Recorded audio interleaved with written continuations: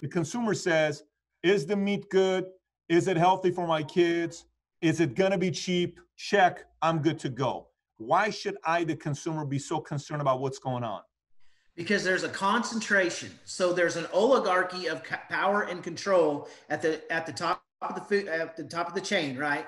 And that trickles down to you. So they are able to eliminate competition in the United States while bringing in cheaper, lower quality uh, meat from other countries, 18 other countries, and they can put that on top of our meat, mix it in the grind or mix it in. Uh, you know, you can go to the grocery store and you may have you may buy a cut of beef that says product of the USA, but that does not mean that it is a product of the USA.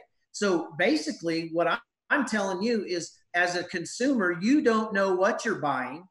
You don't know the food safety because every country has different safety uh, inspection standards, right? Now they do have to go through um, a, United States inspection standard, but it's not up to par as what we have inland here.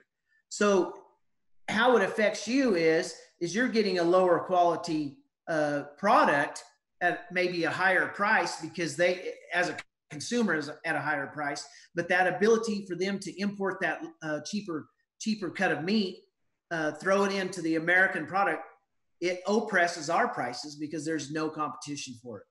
So out of those 18 countries are any one of them china? Yes. One of the 18 is china. Yes.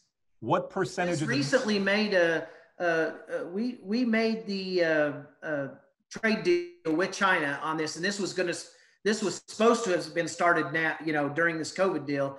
The four main trade uh, is Canada, Mexico, uh, New Zealand, and Australia.